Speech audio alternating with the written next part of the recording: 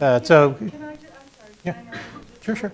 So Nina has the sign-in sheet, so before you guys leave today, just uh, find the roster and sign in, okay? Sorry, thank Sorry. you. Yeah, Yes. Thank you. Uh, So my dad uh, did, if any of you are old enough to remember the Speak and Spell from Texas Instruments, that's based on his speech synthesis chip.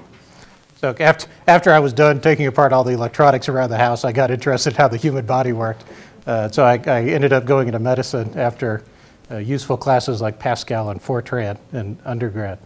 Uh, So I still do some computer stuff and kind of help run the computers and keep them working. Uh, So we have several people in the radiology department as well as here in biomedical informatics who have interests in imaging informatics, one part of that.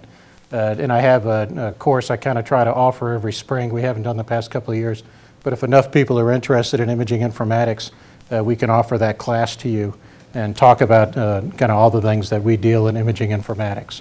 Uh, And I'll give kind of a brief introduction and touch on a lot of these different uh, places and subjects today. Uh, But if any of you are interested, we can delve into much more detail in imaging informatics in those different areas. Uh, So in, in this world, we kind of talk about a lot of different things. Where imaging informatics fits in with biomedical informatics, and kind of the big trifecta for us historically has been PACS, speech, and RIS. These three systems that we use all the time. We'll talk about how they integrate and how we can best make them most efficient and work together for us because that's a big thing for us. For me, for example, I'm a full-time radiologist here, so I want to be as efficient as I possibly can in all my studies. And how I deal with the computer systems around me and how I still keep efficient is a big deal that I'm thinking about all the time. And this is where we started. Uh, this is what I was doing 20, 25 years ago.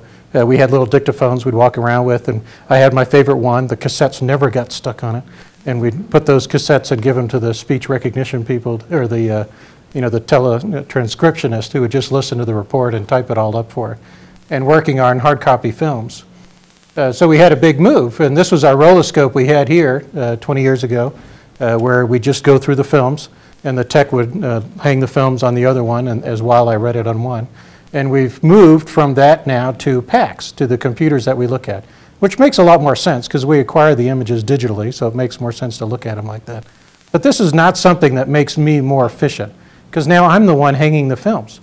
And things like uh, PACS, as well as speech recognition, make me less efficient. Now I'm editing my own reports. So you have me, the guy you kind of think of the, the top of the ladder in, in radiology and in medical imaging, being less efficient. So we want to think about all these computer systems we use and how to get the most efficiency we possibly can out of them. And that's a big part kind of of imaging informatics. Uh, now, in biomedical informatics, in this bigger picture, imaging informatics is kind of a big pillar of that. And if we think about informatics as just kind of all this data that we work in, how we acquire this data, construct it, put it together, and put it in, we have biomedical informatics, that's all that dealing with medicine.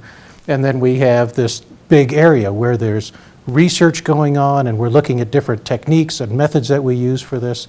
And all of that is being applied not only in basic research, but we talk about uh, these different pillars kind of of biomedical informatics. Uh, we have this big area of bioinformatics, imaging informatics, clinical informatics, and public health informatics that we all deal with. And each of these, you know, you guys are looking at this basic research, and we always talk about bench side to bedside. All of those, that basic research is going through these areas to be applied all the time uh, in applied research. And we can think about these in a lot of different ways. We can think about uh, bioinformatics as cellular and molecular processes. For me, in the imaging world, we're really looking at organs and tissues all the time. Uh, for clinical informatics, it's focusing on the patient. And then we have public health looking at society and population. And all of these have both research going immediately kind of in the uh, applied research, going directly to the patient, and we have stuff kind of going back and basic research going back and forth. Uh, but these are kind of the three big pillars that I think about as biomedical informatics. And for me, today, we're going to zoom in on imaging informatics and focus on that you know, pillar in those areas. Because what we're really dealing with here is the image and all the things we do with it. We generate the image, we manage it, we manipulate it, and we integrate it with something else. These are the big steps.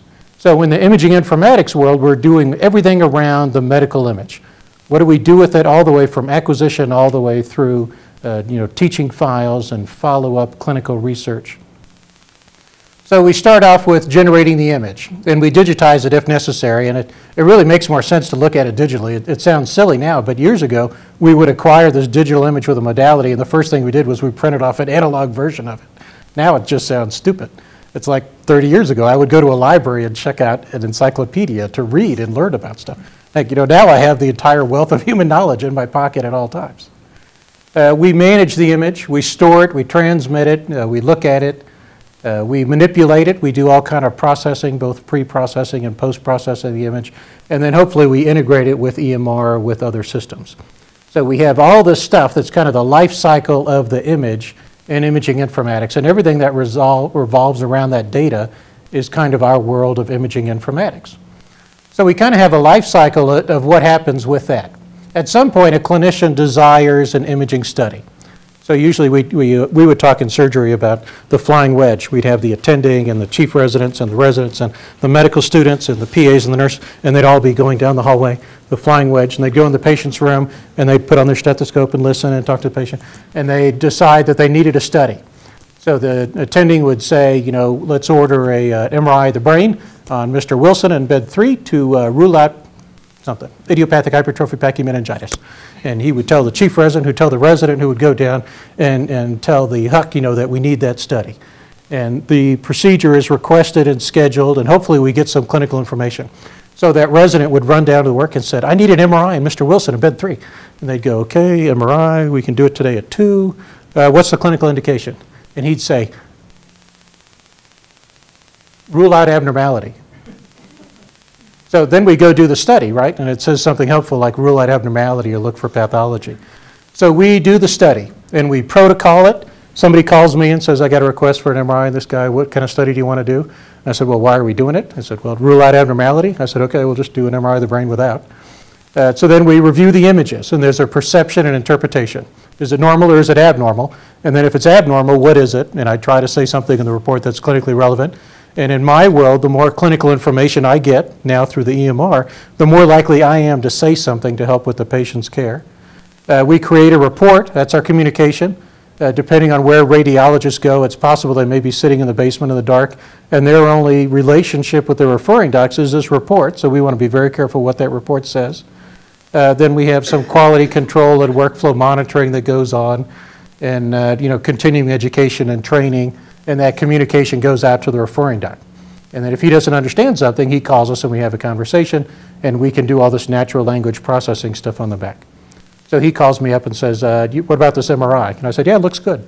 And he goes, well, I, I noticed you didn't give contrast. And I said, why would I give contrast? And he says, well, to rule out idiopathic hypertrophic pachymeningitis. That's why I ordered it. And I said, why would I be looking for idiopathic hypertrophic pachymeningitis? And he said, well, that's what the request. And I said, no, the request says rule out abnormality. So we want to integrate all these systems, CPOE, something else, where we can get that clinical information.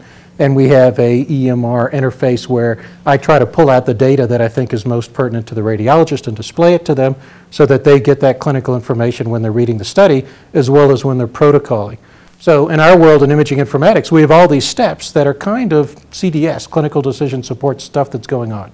So there's stuff for the referring docs, helping them decide which kind of study to order. When a guy comes into the ER with low back pain, maybe we don't need a contrasted MRI of the spine, maybe we can start with plain film. So there's systems to help him order that. Then there's systems to help radiologist protocol study. If somebody says idiopathic hypertrophic pachymeningitis, maybe you want to go give contrast in that study. And then there's clinical decision support like teaching files where we can show you pictures of what idiopathic hypertrophic pachymeningitis looks like, and you can guess if that looks the same as what you're looking at. So there are several different steps along the course where in our world, clinical decision support is kind of helping us. So we have all these steps that are RAB, and these are all things that are, are kind of discussed and described in this Society SIIM, the Society of Imaging Informatics and Medicine. So this is kind of the largest imaging informatics group. Uh, I'm the uh, program chair of this society, so we put together the program every year. Uh, we have speakers from all over the world, thousands of members uh, who all come and discuss these things, and we have a website there's a webinar actually going on right now. Uh, we do online webinars and tweet chats and things, and uh, we have an online e-community where all this imaging informatics world kind of lives for us as a portal. Uh, so everything really is kind of discussed in that imaging informatics, from desktop support, when is this you know, version of Windows sundowning, all the way up to very complicated things uh, you know, wearable technology. Uh, you know, I can push radiologic images to my watch and look at them. Uh, anywhere I am, somebody can text me and ask me to look at a study. If I have Wi-Fi anywhere in the world, I can pull it up and look at it. So I can get a text, you know, if I'm, I was in Singapore and somebody texts me, hey, uh, you know, Mr. Wilson had an MRI of his brain, does the lesion on the left look bigger? And I pull it up and look at it and take it back. No, it looks like it's smaller, you know, maybe radiation is working. And he's, the surgeon says, oh, great, you know, wonderful. Are you available for lunch today? I said, I'd love to, but I'm not there, I'm on the other side of the world. So they have no idea where I am. So the referring docs don't know if I'm down the hallway or if I'm on the other side of the earth. With Wi-Fi anywhere I am, I'm connected. I can look at images and, and interact with them. So it's another way the world is very flat and much smaller than it was. So we have these core knowledge domains that we talk about, not only analytics and uh, the clinical and operational data, but enterprise imaging. We know it's not just radiology anymore. We've had, you know, cardiology, neurosurgery, uh, vascular surgery, all these guys kind of come into radiology and are much more involved. So the radiologist is kind of getting out of the dark room and working with the other referring docs much more.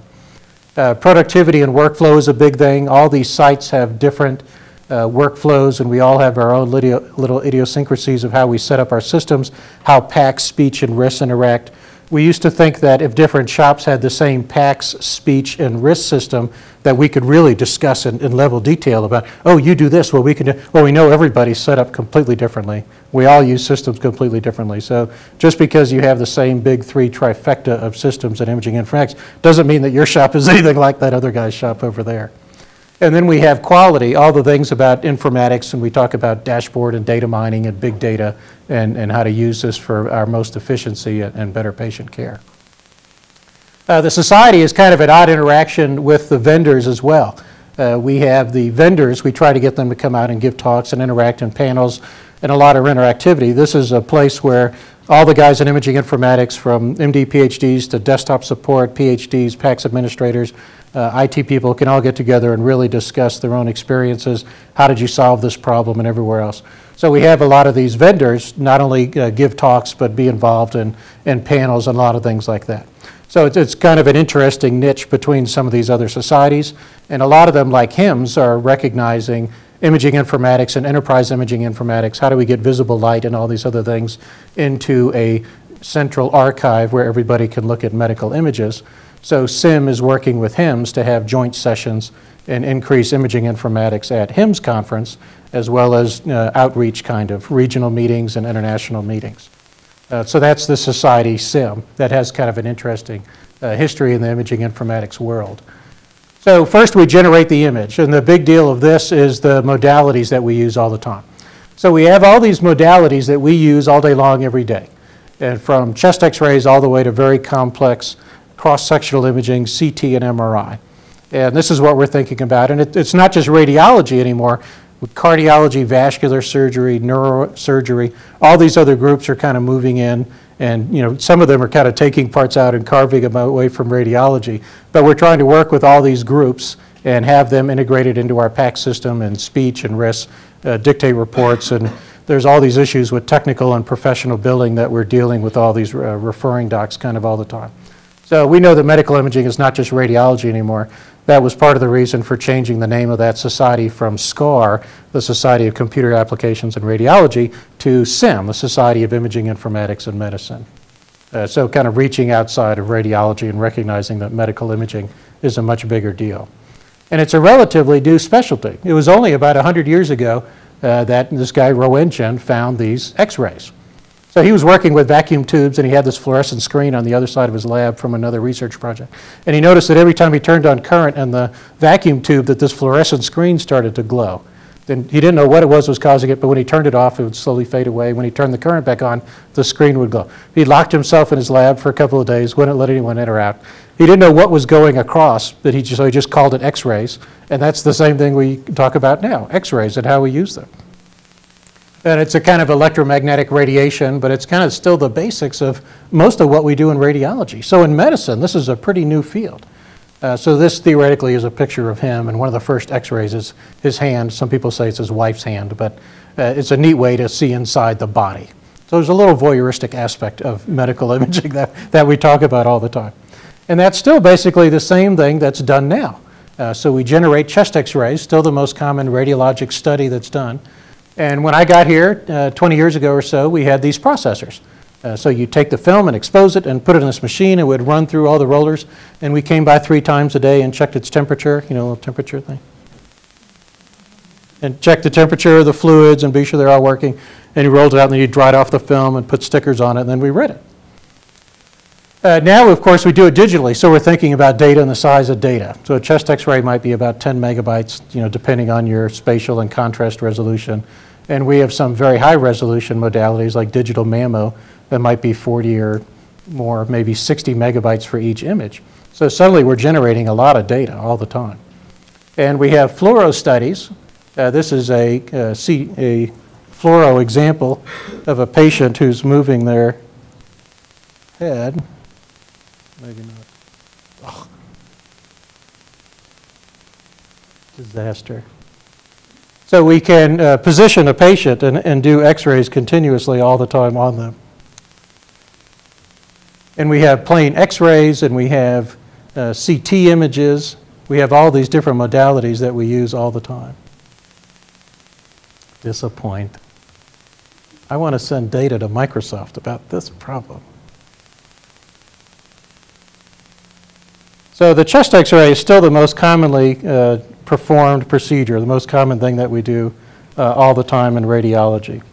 And uh, we're thinking all the time about the amount of data that we generate now, because I may generate 10 or 20 ter uh, terabytes of data a year, while the other hospital generates a relatively small amount of data all the time. Uh, so I have digital fluoro, where I put contrast in, a, in a, have people either drink it or plug from below and put in contrast and take x-rays. Those may be relatively small size, a megabyte for each. But the amount of data I generate overall is really big. Radiology may generate 10 or 20 terabytes of data a year, more, more than the rest of the hospital. You know, I generate more than a day than the rest of the hospital in a year.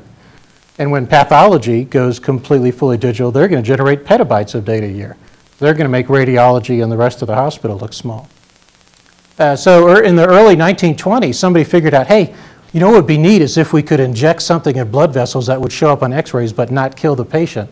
That would be cool and they came up with angiography, and then we had digital subtraction angiography, uh, where we can inject contrast and actually see it show up on blood vessels. And those images are relatively small, just a megabyte in each one, but a study may have a whole bunch of different images. And there's a type of kind of lossy compression that goes on here. I do an angio study where I put in a catheter, and inject contrast, and I take a whole bunch of images, and then the tech goes through those images, and they choose a couple that they think are best and save those. There's kind of a little bit of an image compression going on right there at that step. And a lot of what I do in the neuroradiology world is CT and MRI. These are even newer techniques. They've only been around about 40 years, CT and MRI. So this is one of the first CT images. It took days to just construct a single image. And you know, originally we'd have about 10 images for each study. Uh, and this is a CT scanner. So we have something that's generating x-rays and something that's detecting the x-rays and it's spinning around really fast. So this is just an example video of one uh, that's open. So you see why we have it closed, because we ask patients to voluntarily stick part of their body in the middle of that. But this machine is really just a big, stupid densometer. It's looking at densities of stuff. So bone is very dense, so it's white. Air is not dense, so it's black. Everything else is kind of in between. But the neat thing is I can look at the density of stuff and sometimes tell you the pathology. So this is an axial CT, it's a bone algorithm, and these permeative changes right here next to this, this is your ear hole right there where you shove the Q-tips in, that your ear's trying to clear out the wax all the time. So these permeative changes tell me that this is a type of tumor called a paraganglioma, and if I have sclerotic changes with increased density, that's what a meningioma looks like. And if I have smooth scallop margins, that's what a schwannoma looks like. Three different types of tumors, uh, one that's very vascular, uh, one that's extraaxial and causes a sclerotic change in the bone, and one that causes benign changes.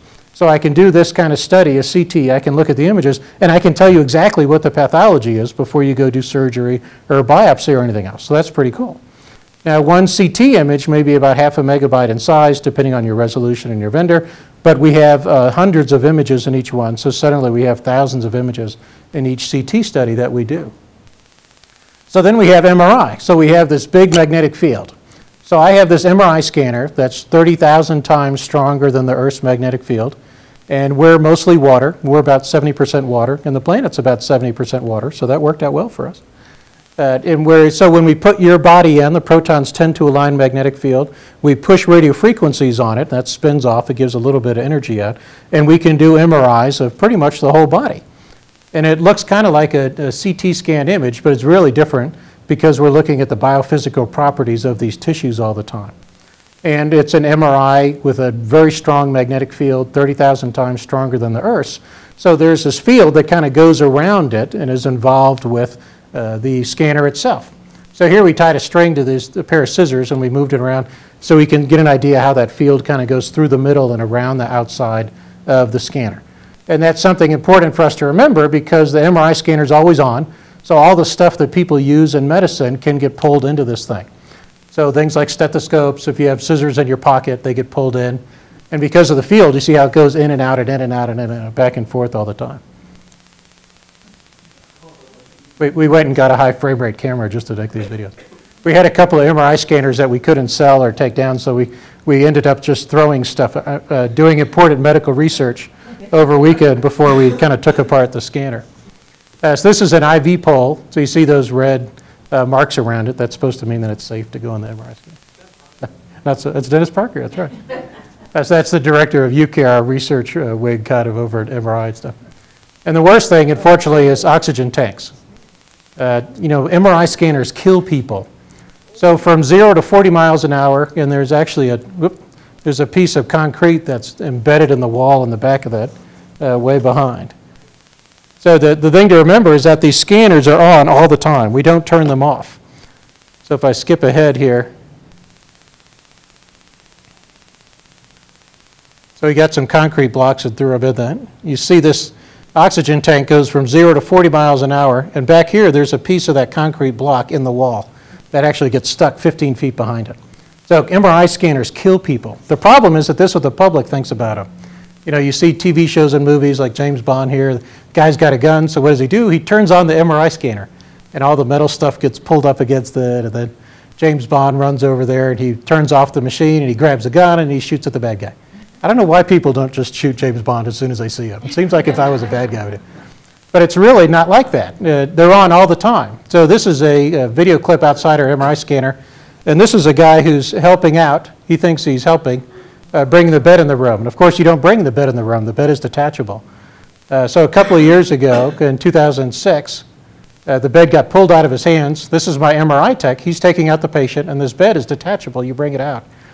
So you see this guy start to break in the bed over here. Suddenly the bed gets pulled out of his hand and slams up against the back of the MRI tech. And he's, he's trapped there for a second. That's him screaming. He had these huge black and blue marks down his leg. He lost feeling and it like, uh, so unfortunately bad things happen with this. Not only oxygen tanks, uh, you know, the, if a cop thinks he's helping and he runs in there to help to do, his gun can get pulled out and go off. The firing pin is magnetic. Bad things happen all the time. So unfortunately, MRI scanners kill people. But the important thing here is the MRI scanner is on all the time. It's not like on TV, we turn it off every now and then. Those images are also relatively small, may only about be a half a megabyte, but there's hundreds, maybe thousands of images in each MRI study. So that's a lot of data also. Uh, so then we have nuclear medicine, another thing where we're looking at biophysical properties of tissues. Uh, we can take out your blood, make it radioactive, put it back in you, put you under a giant gamma camera, and then detect where the radioactivity is coming off of.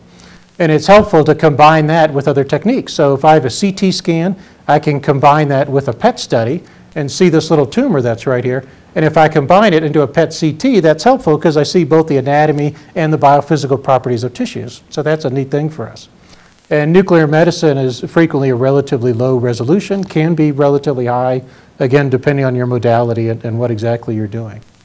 Uh, so that's nuclear medicine as an imaging modality.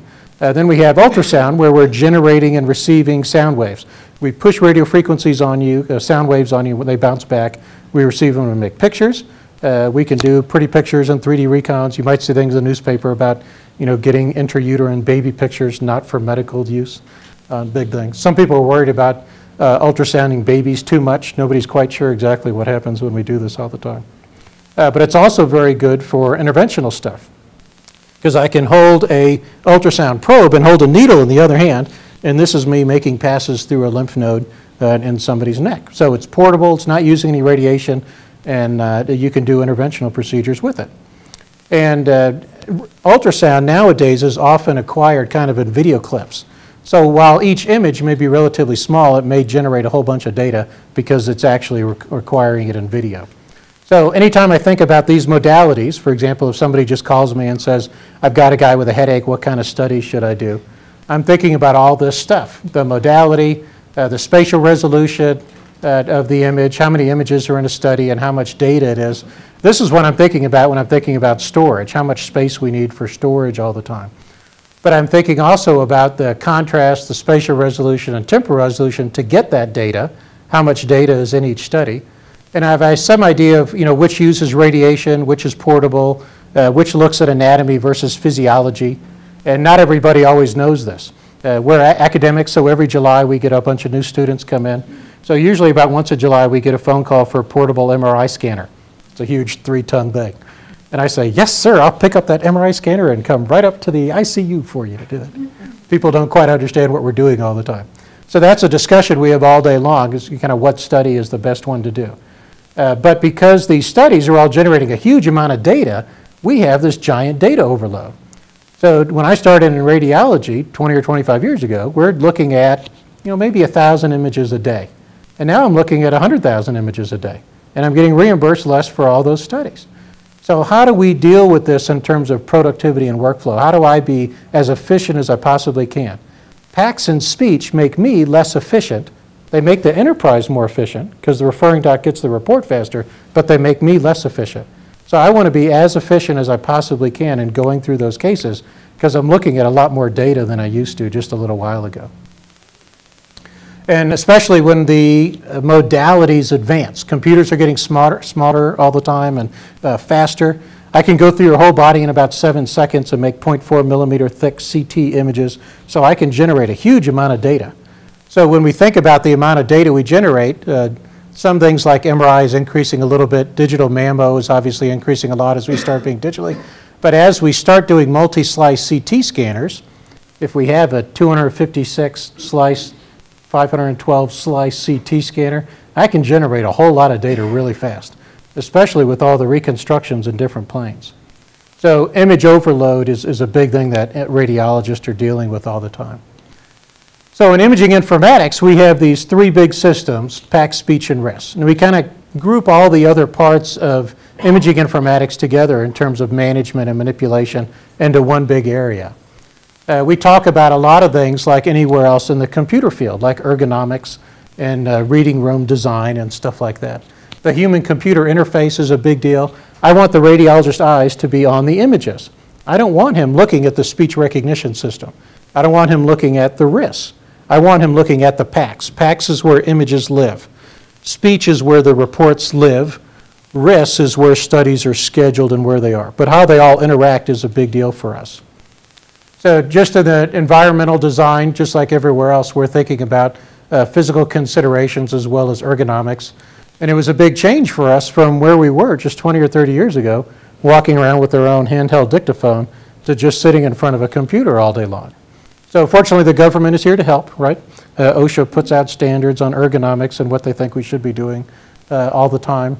Uh, we talk about the neutral body position and ergonomics, your thighs parallel to the ground and where they should be. Uh, we look at different body positions.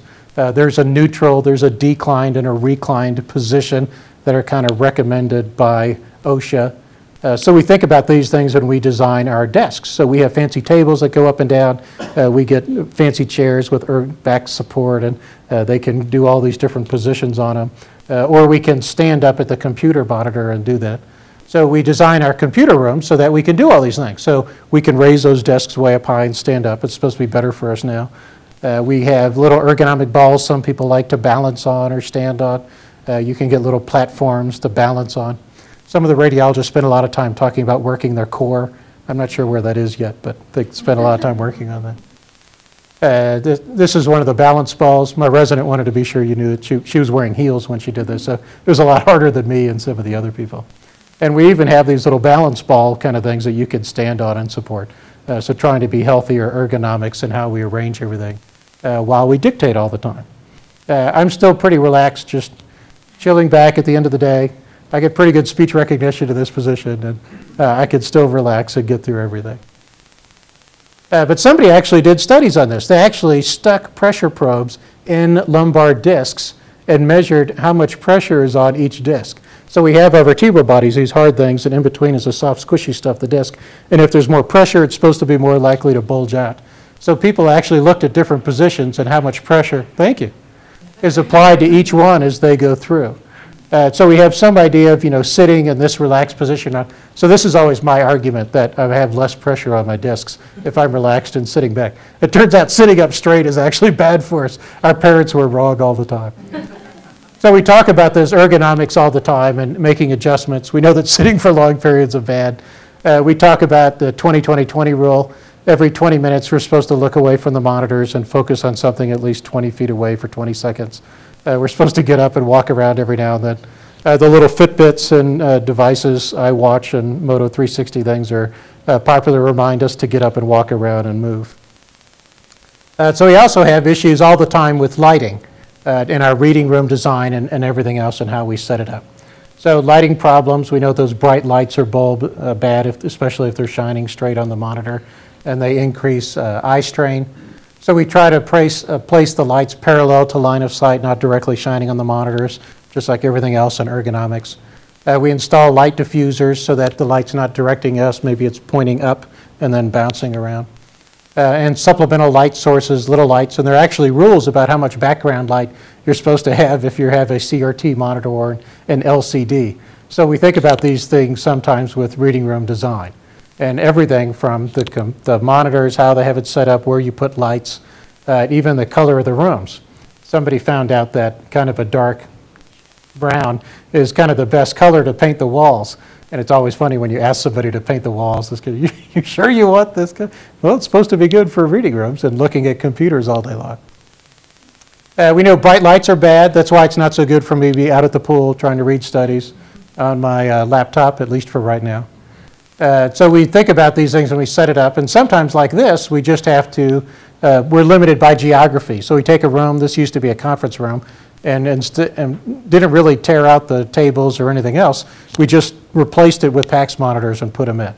Uh, so we may have lighting that's not very good with an actual outside window, and we may not be able to set it up. Here we have PACS monitors directly opposite each other, so you may get glare from the back of the room or somewhere else. But we have all these rules about things like blinds, Horizontal blinds are supposed to be better for north-south windows and vertical blinds for east-west. There's all this stuff that normally we don't think about in terms of reading room design and ergonomics, how we set it up. Uh, we try to use indirect light or light shielding, uh, and we think about those environmental factors with lighting, like these windows. Some people like to go in these reading rooms and just open up these windows so light is exact. It's very bad, obviously, for, for trying to read subtle stuff in the dark all the time for radiology. Uh, but some people say that they like to have that light in the room. Uh, glare problems are always something. We, we try to buy mice and keyboards that are not shiny, uh, that are kind of a flat color black on them so they don't glare. And even things like ventilation, uh, there are rules for the air vents. If you've ever been in a, a, work environment, you're in a cubicle or something, and there's one of these air vents that every three hours just starts to push air down, is really annoying. Dries out your eyes, is really bad. Uh, so little things like air diffusers could make a big difference from that. And there's actually rules about airflow rates, how, much, how fast air is supposed to be coming out of that thing. And even things like humidity and, and temperature in the room. And if you look closely, there's even different rules for what temperature should be in the summer versus the winter. Uh, when people are wearing more clothes, maybe you may keep the room a little colder. Uh, so just a little thing like an air diffuser can make a big difference in ergonomics and computer use all the time. Uh, so the physical reading room historically has been kind of under undesigned. We've taken a room where we used to have the rolloscopes and just take out the rolloscopes and put in a PACS workstation. And we usually put them in the same place. And then we end up having these arguments. So the rolloscopes, you could kind of hang 12 pieces of film, you know, so many on top and so many on bottom. And when we first started installing PACS in 99 or so here, a lot of the radiologists wanted two rows of monitors. They wanted a row on top and a row on bottom because they're still thinking about it like film like images, when really we want to think about it like data. That we think about it as ones and zeros at this limited level, and it's a data set that we can scroll back and forth through. Uh, when we first put in PACS, a lot of people would hang their studies just like hard copy film, kind of 12 on one, on each image as they went by, and they insisted on having two rows of four portrait monitors. And of of course, we ended up not really doing that because you never use that top row. Uh, But you, if you think about it like data instead of film, it's a whole different world. It's not very frequently you go to buy a sweater and you run your credit card and they say, oh, sorry, the American Express server's down. You know, come back a half hour later and try to buy your sweater then. That never happens because you have redundancy everywhere in the system. You set that up very well. So we want to think about that in our design systems. Uh, to try to minimize distractions, sometimes we set up little uh, ante-rooms. So when the referring docs first walk into the room, there's somebody there to kind of greet them and find out what their problem is and do they really need a radiologist or try to get the films prepped uh, before they go kind of into the back room where the radiologists are actually working uh, to kind of be a, a gatekeeper uh, to them back there so that these guys can sit back there and actually do the work uh, and that the referring docs aren't coming in. Uh, we have huge problems like CDs, just like everybody else with outside studies. And, you know, they don't want to even bother trying to figure it out, so they come right to the reading room. And when that guy comes into the reading room, the neurosurgeon walks in with five CDs. Hey, can you look at these outside studies and tell me what you think? We'll go, oh, God. Because I know the next 45 minutes of my life is gone. You know, I, I have all the medical legal problems because I know he, write, he goes back and writes on the chart. I showed the films to Wiggins. He said it's a tumor. I'm going to cut it out. but I, I have no of the technical or professional billing that goes along with that study. But I have all the medical legal risk. Uh, so we try to set up those ergonomic workstations and uh, we try to position the rooms, but frequently we're limited by geography and we just have to kind of shove them in anywhere we can. So if you're building a brand new site, you can think about things like that. When they started doing plans for the new ortho building in Research Park, they had the plans and the layout and the rooms and everything else, and then they came and said, well, you know, what do you think about printing film or going digital and how we should set it up or anything else? And we said, well, you've already made that decision. There's no wet rooms you don't have any of the sewer lines or any of the wet rooms to process the film. So you are going digital. That's not a question. So we have to think about this when we set up the room. From little things like network, you know, is this punch card live on, on the, uh, on the network bank, or do we have to make all these Ethernet connections live to send it? So the human-computer interface is a big deal. How does the radiologist interact with all these systems? Uh, the PACS, speech, and the RIS is kind of the biggest one there. So we think about that kind of as this trifecta for us, the big main systems in radiology. So the big one there is PACS. It, it's P-A-C-S. It's not P-A-X, as we often say. It's Picture Archival and Communication System. And the whole idea is that it's not just the images, it's the network, it's the modalities, it's the reading station, it's everything all in between. So we have pictures, and it really now it's all types of images, visible light and everything else. Uh, we archive everything with usually with a short and a long term. So we think about, you know, spinning media or something that's fast and then long-term tape archive in the background for your, disaster recovery that's 90 miles or one fault line away for your disaster recovery. Uh, we communicate by sending the data between the devices, and it's a system to remind us that it's all these network devices as well as the network and everything else. So we have all these components from the modalities all the way down uh, through the workstations, and we rely on all these standards like DICOM, HL7, IHE. We have all those same discussions. Do we use IHE? Do we use SOA? How do we interact with these uh, uniform database? And is it better to have a single database? We have discussions about single, single vendor versus best uh, vendor, what we should get. And we know that frequently the single vendor discussion is kind of silly because it's often just who that guy bought last week. It may be a completely different company. It doesn't mean it'll work any better with their system than anybody else's. Uh, so we want easier interpretation and comparison of prior studies. So 20 years ago, if I got a study and I knew there was a prior, I would take it down and give it back to the file room and say, call me when you have the prior, bring it back when you And they would go over the Word, they'd drive around, they'd make phone calls, and sometimes a couple of days later they found the prior and brought it back, and then I could compare it with that and say if the tumor is bigger, smaller, or same. Well, now, of course, I just search on the PACS and I can pull it up and look at it right away. Uh, so we have a lot of faster and more accurate diagnosis for our patients. I have immediate access anywhere. Anywhere in the world, if I have Wi-Fi, I can technically connect to the system and pull up images and look at them 24-7. And theoretically, we have better uh, patient safety through this. Uh, peer consultation is great because uh, I, I can't just hold on to the hard copy film and show it to somebody later. I can call anybody anywhere in the system, and it doesn't matter where they are. Hey, can you pull up Wilson and tell me what you think this is? I have no idea what that. And we can compare and consult each other on that. Uh, So theoretically, we have a lot fewer patient delays, better report turnaround time, uh, better satisfaction from both uh, the patient, the radiologist, and the referring doc. Uh, We've reduced a lot of lost or misplaced films. Again, it sounds silly, but years ago, we would do a study in the middle of the night and print them out and give them to the neurosurgery resident.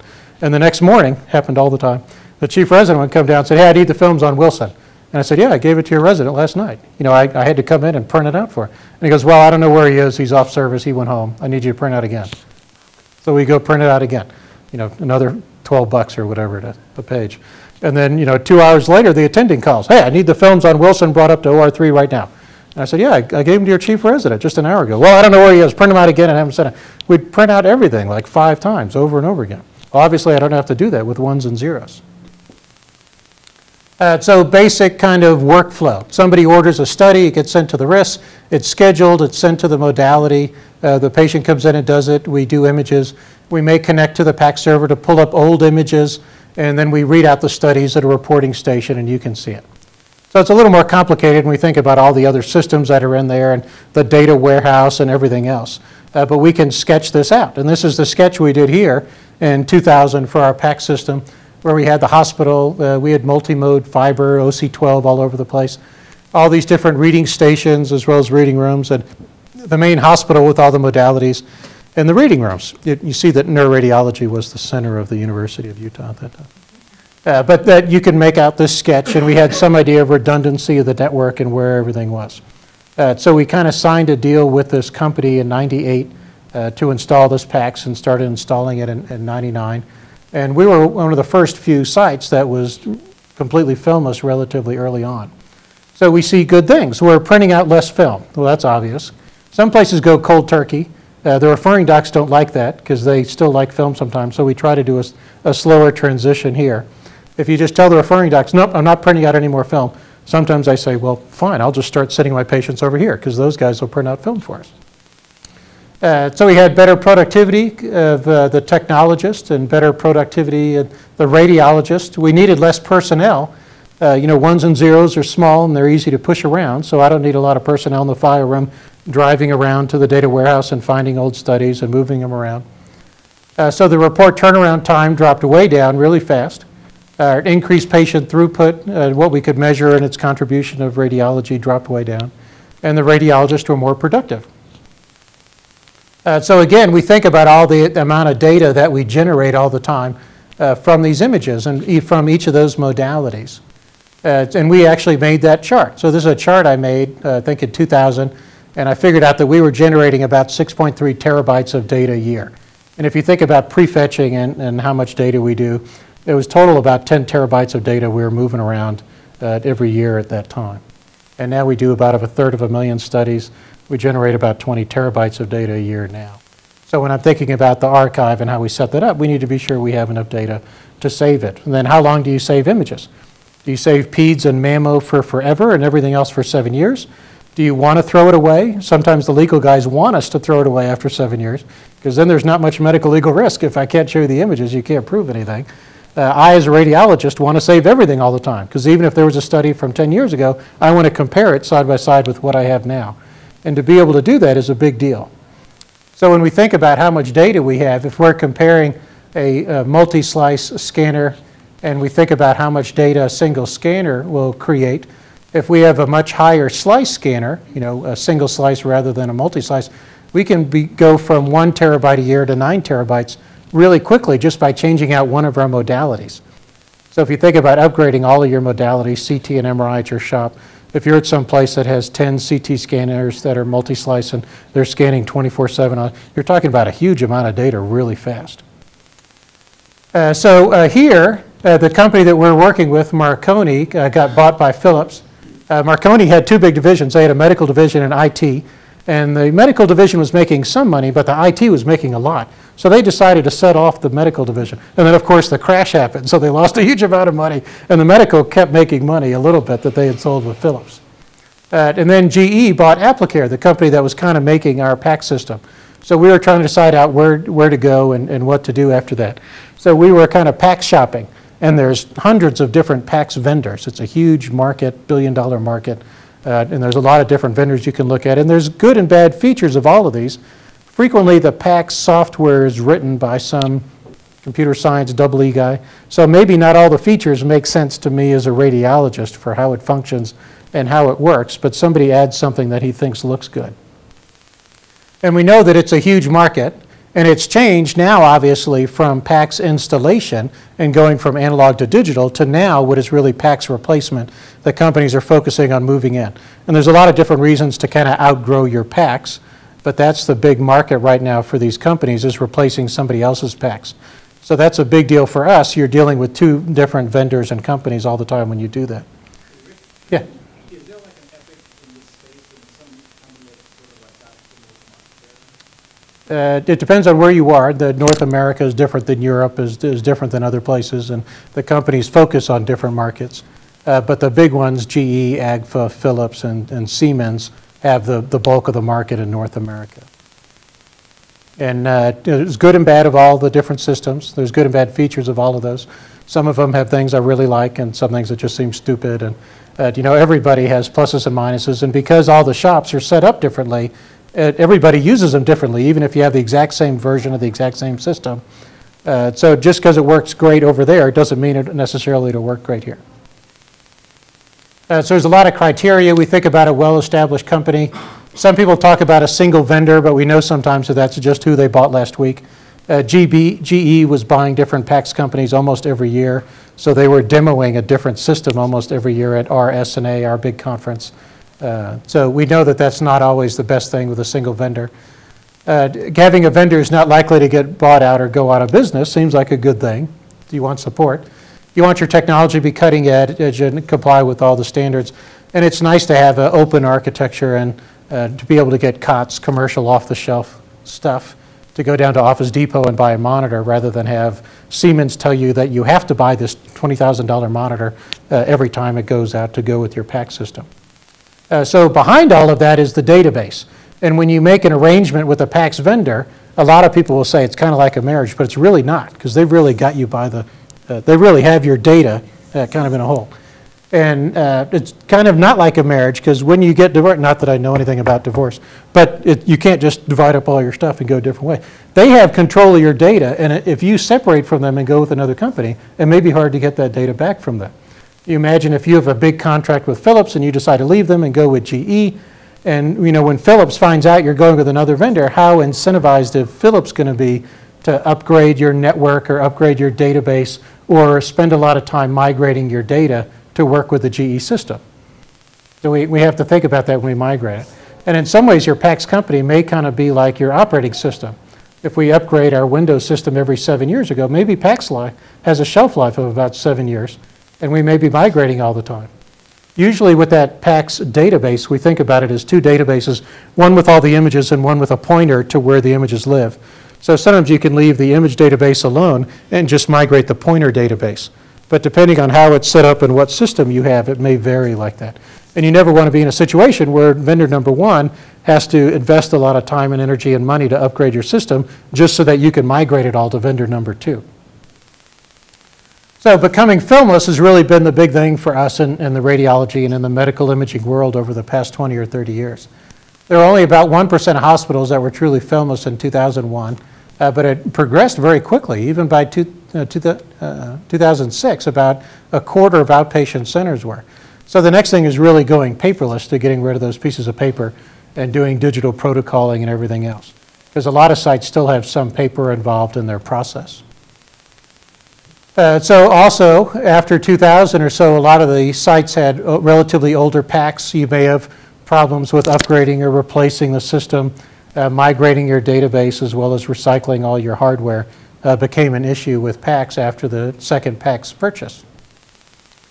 And, uh, and part of the ways we want it to shift in that we recognize medical imaging is not just a radiology issue, but it's an enterprise thing. So we talk about Im imaging enterprise, and uh, all the enterprise visible light colonoscopy, uh, visible light pictures of rashes, as well as medical imaging of, of radiology studies that we do all the time. Uh, so there's good and bad of these different things from a single vendor to uh, individual systems. Maybe you don't want a lot of finger pointing that you have this PACS and these modalities and this, and so that the vendors are saying, well, it's his problem, not mine. He needs to upgrade this. And little things that seem obvious sometimes become a big issue. I really wanted a single keyboard and mouse in front of the radiologist so that they're on, kind of working off one CPU. There are places where they have three mice and three keyboards in front of them all the time, PACS, speech, and RIS. But if you have one keyboard and mouse and everything running off of one box, you need all the vendors to sign off on the new version before you upgrade anything, your software, your hardware, anything else. If I'm going to go from 32 to 64-bit architecture and try to use more RAM, I need all the software vendors to sign off on the new version of the hardware, and I need them to say that, yes, I, I guarantee my software will work with these two other guys before I do that. And then the radiologists want internet access.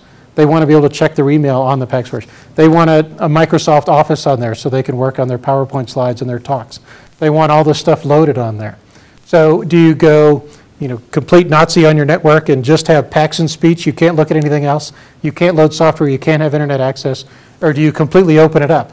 So every time they go to YouTube or some website, they download the new version of Flash that meshes up everything else uh, on your PACS workstation. How do you set privileges for what the radiologist can load on the PACS versus the administrator? And can the radiologist be an administrator?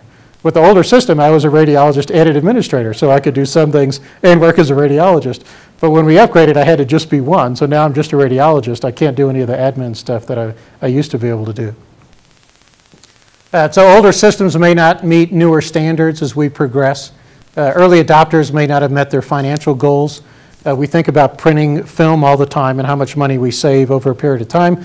Uh, PACS costs less, but it's a big financial investment right at the front. Uh, and then you uh, gain the money, but you have to keep it up and running for three or four years to get the financial investment back. or general PACS problems can be a huge variety of varied things. Uh, so we always get funny phone calls that say PACS is down or, you know, PACS is broken. Uh, well, maybe one of the monitors died. That's not really PACS is down, PACS is the whole system. But to that one user, maybe that's a big deal, especially if I can't get that guy to move over 10 feet to the, the PACS system next to him and use that one instead. Uh, some guy called and said the images won't come up. Well, he was trying to do an outside CD on his PACS workstation and it was trying to load all the software. It's not really a PACS problem, but that was an IT call. Uh, the guy called and said nothing's worked. Well, he was really in the conference room, and the LCD projector was broken and the bulb had died. Really not dealing with PACS, but that was a PACS stat help desk call. Uh, keyboard wasn't working. Turns out the fellow had spilled his lunch, his egg drop soup on the keyboard. He didn't talk about that initially, but he said the keyboard wasn't working, all the keys were sticky. Uh, some guy called once and said the colors were all wrong. He had actually tried to load the full version of Adobe Illustrator on the PACS workstation so that he could work on his uh, hard copy poster. And if you guys have worked with Adobe, boy, that, that takes control of your video card and it does not let go. So even when they rebooted, the colors were all still messed up from the video card we had for PACS. And uh, some guy said the speech mic was broken. Somebody had tried to play uh, U2's new CD on their PACS workstation, and of course the sound was just coming out the little speech mic, so it didn't work, so he left. But because it reconfigured the sound card, the next guy who came back, there was this loud screeching noise coming out of the speech. So he ripped the $1,000 speech mic out of the back of the PACS workstation and then called the PACS help desk and said that the speech mic wasn't working. Oh, really? Thanks. That's good. So there's a lot of issues to deal with uh, PACS and desktop support as well as uh, PACS replacement. And you want to have uh, some knowledge, at least, in all these different areas, uh, not just in the hardware and software, but the network and everything else. You want me to stop? Sure. So it's, it's a big deal in PACS deployment, and we think about the network as all as the imaging and everything else. So when we're setting up our network, we're thinking about redundancy and the servers, the core switches, the edge switches, and everything from desktop support, when are we sundowning this version of Windows, all the way up to speech recognition, natural language processing, you know, how do we go back and search through our reports? How do we data mine this data and go through wearable technology? Uh, we have all these mobile devices where I can look at images anywhere, anytime. There's this huge range of things that are kind of going on in the imaging informatics world. And we're a little unique here, actually, that we've got eight or 10 people, all who have some imaging informatics background uh, and could you know, give lectures like this. I'm, I'm, fortunate that I have a lot of people I can involve in the SIIM Society and the program committee and involve in a lot of different layers. There are people who look at DICOM, the image file format that we look at images. digital imaging communication of medicine, and uh, it- from desktop support all the way up to high-level social media, wearable technology, mobile tech. Uh, There's a huge range of things that are going on in the imaging informatics world. And it's really a very exciting time for us because the technology has progressed to the point where we can do a whole lot of cool things uh, with data mining and data researching and, and big data. Uh, So I thank you very much for your attention, and I hope if you're interested, you'll, uh, the students will think about the imaging informatics course in the, in the spring. Thanks. So there must be some questions. Yes, ma'am.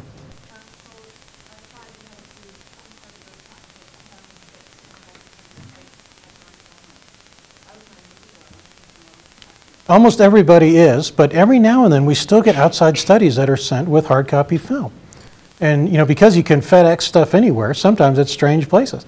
Somebody sent me images from Hong Kong that were still hard copy, and they still had all the stickers on and everything, so it looked like they're still on hard copy film. And we talk about developing or emerging markets sometimes. How we run radiology programs in the middle of nowhere in Africa is very interesting. In some ways, they're ahead of us because they didn't go through telegraph typing and Morse code and putting up these wires. They jumped straight to cellular technology. They just put up cell towers and everybody's got mobile phones. So they, they jumped way ahead in some areas. And there's an interesting initiative right now. The, it turns out Saudi Arabia has decided to invest a huge amount of money in medicine, and they have a lot of money. So they're setting up a bunch of hospitals going straight digital. So they don't have this transition from analog to digital world. They're just going to set it up, and, and they plan to build hundreds of hospitals all around Saudi Arabia the next year.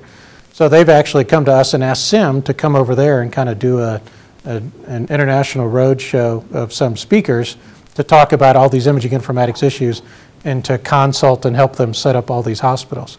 So while in North America, it's really PACS replacement market, and almost everybody's, almost everybody's filmless now. Digital mammo is really the last place usually to go filmless because everybody's used to hard copy film and you want very high resolution.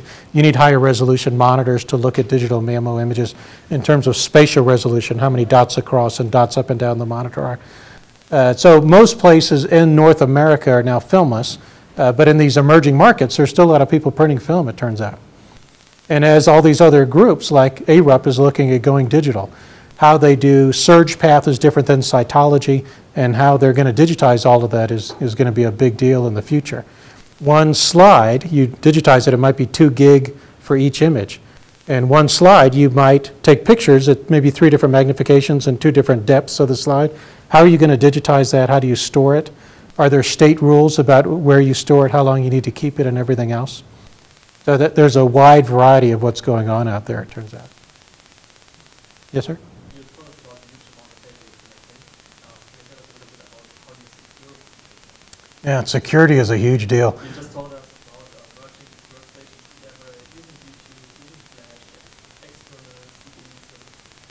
A lot of security things. Oh, It's a huge amount of security. Years ago, I, I wanted to get these little uh, keyboards where they're biometrics. You put your finger down, and it automatically logged you on. And it was great, because I could be at one workstation, log on and save it, go to another workstation, put, and it would come up just like I had it. But there were a couple of people whose fingerprints, it turns out, were too close. So there were two or three people who would log on at e- as each other sometimes. And there's security all the way through, you know, from somebody who wants to look at Karl Malone's knee MRI, and, you know, who's a, a tech in some other ICU, all the way to the radiologist and patient information. So security is a huge deal. In a lot of ways, medicine is way behind these other fields in our security and how we secure our databases. Mobile technology is a big deal. Do you want everybody to have their smartphone encrypted? You know, that, that's what held BlackBerry in the cellular market for a long time. Now, if you can have Android and iPhones that are encrypted, you know, the government and DoD, other people can leave BlackBerry and go to these other smartphone devices. So there's a, a bunch of different levels of security issues, all the way from the USB drives we look at, uh, to securing all our laptops and external hard drives and everything else that we use. You better stop there. Thank you. Yeah, Thank you.